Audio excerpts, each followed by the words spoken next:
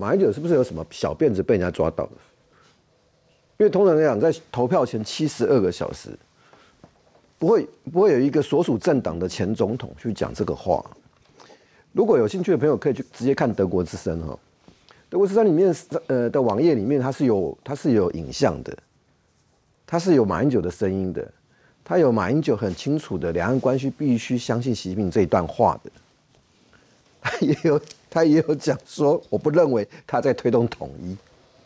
我看了我哭笑不得，但我知道一件事情，你在投票前那个，因为是昨天哈，投票前七十二个小时，你把这个丢下来丢出来，侯友怎么办？金武聪怎么办？朱立伦怎么办？炸锅啊！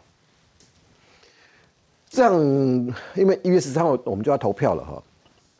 其实这样选举就已经很简单了，我们只是我们只要做一个选择，你相信习近平吗？你相信习近平吗？你会去相信习近平吗？德国之声问马英九总统前总统的时候，他讲他两岸必须相信习近平。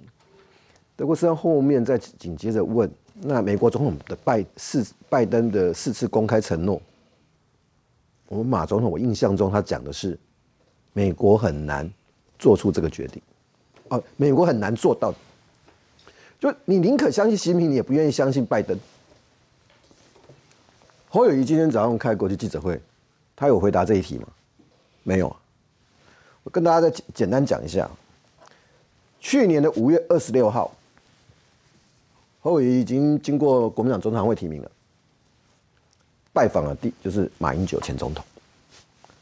七月二号，台北市帮他办造势，有有一个很很有很有名的，他说马英九是两岸最佳的代言人。对，然后他要在。这个马英九的既有的过去的既有的基础上，继续往前行。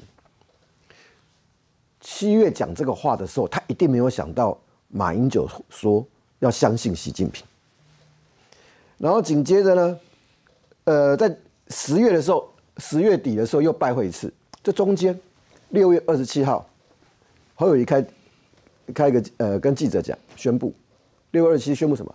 马英九会是他的竞选总部的荣誉主委，荣誉，荣誉主委比主委还大哎，因为他是前总统啊。国民党曾经重返执政是因为马英九啊，放在任何一个政党，这都是资产。可是这个资产，今天跟你讲说，我们必须要相信习近平。我不晓得这个资产为什么选前之夜不给他来？惊掉啊！惊掉。加上面，他不是 follow 他的跟随他的九二共识吗？我不晓得马英九会吹出多少票出来。我相信马英九一定有吹票的效果。在台湾，任何你跟任何一个人讲，我相信九成九成多以上的人很难接受相信习近平。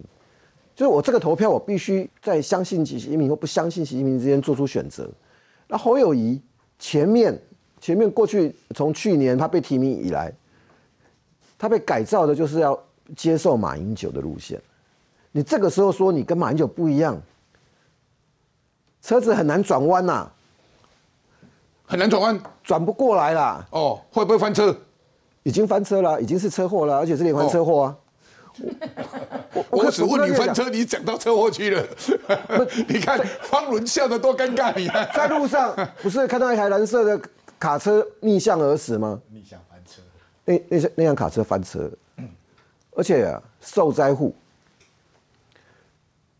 甚至我觉得民进党的区域立委，可能都因为马英九这一席话，会多一些多不少选票。